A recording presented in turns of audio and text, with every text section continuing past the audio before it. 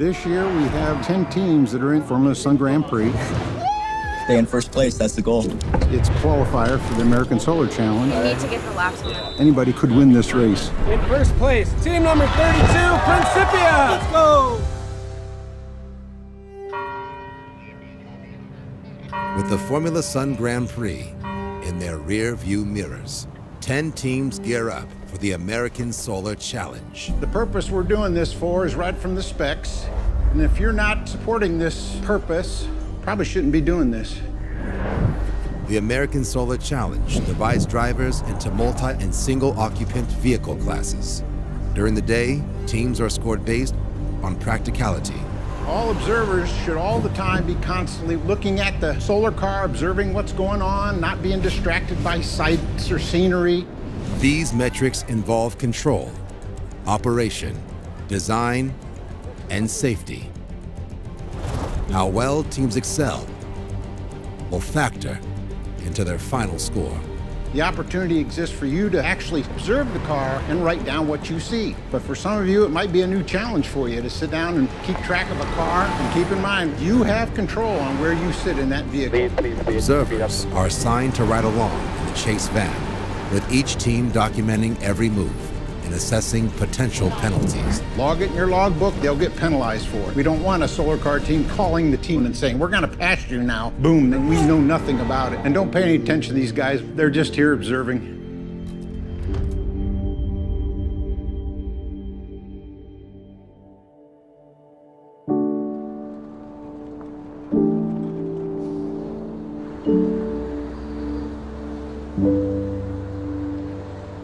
Gail Lueck has been with the circuit since the 90s and now leads as the event and operations director. My history dates back to my first event was as a competitor in Sunrayce 99 and have been helping organize the events ever since then. You know, we kind of say it kind of gets in your blood and you just want to keep doing it.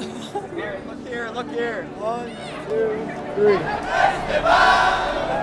So the American Solar Challenge is a cross-country endurance rally event.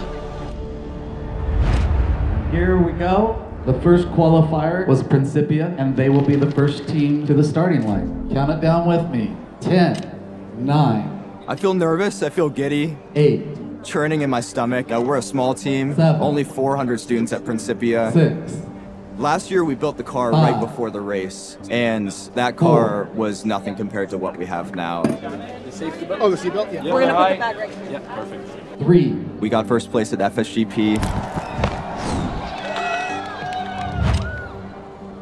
2, We know we can do it. That's our goal. 1, and they're off. Cars will be leaving in one minute intervals. The eight day journey begins from Independence, Missouri, all the way to Twin Falls, Idaho. Between 9 and 6 p.m., teams will drive the route charge in the morning and evening before impounding for the night. There will be a lead and chase vehicle with these cars and keep them protected. Our third qualifier is MIT.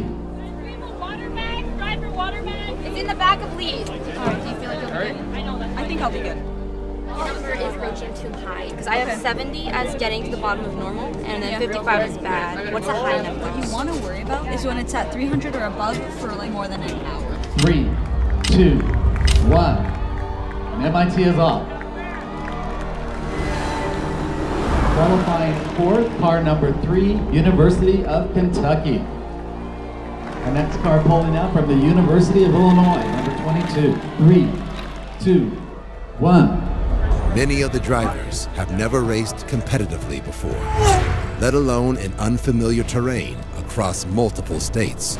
They'll have to stay vigilant. You wanna make sure they can't go I want to make sure I'm As not the flags are raised, the sky is clear, and so are the roads. The first stage runs to Grand Island, Nebraska, with a checkpoint at the Brown v. Board of Education, National Historic Park, in Topeka, Kansas. The average car clocks in at 30 miles per hour. Unlike other motorsports, victory is measured by endurance, and endurance by the volatile temperament of the sun. Traversing through historic sites and landmarks along the Oregon Trail, each stop along the way represents the National Park Service in a chapter in the story of America. Already lagging, Illinois' hope of making it to the checkpoint in time is up in the air when suddenly their car breaks down. No person wastes their expertise. Which one's high? Good teamwork means every Do you know individual which ones are which on this side? knows their role. Yeah, yeah. Okay, shield, low, high. You're gonna solder on test, two test. When time is of the essence, 4.1. clear communication is everything. We can. Blue is low, white is high. Alright, Alright, so that's shield. Away from the comforts of their workshops, Scotch tape will have to do. With miles ahead toward the Pioneer Museum, they're back in the saddle again. The race is broken up into four stages. Along the way, there are optional challenge loops where teams can pick up additional miles if they have the extra energy to burn. Think of them as bonus rounds as Illinois catches up with the rest of the pack. MIT and Principia battle it out for the first position.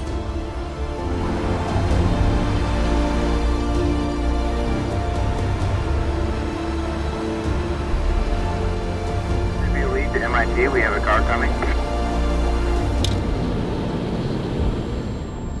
Highway hypnosis is standard for long haul drivers. Marie, he needs to push the right button. Everything needs to be fine. Telemetry says you're all good, Chris. Even for a chase van, both hands need to be on the wheel.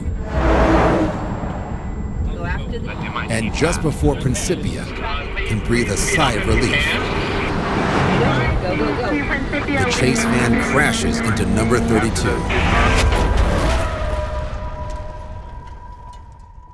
The solar panels are wrecked. What the hell just happened?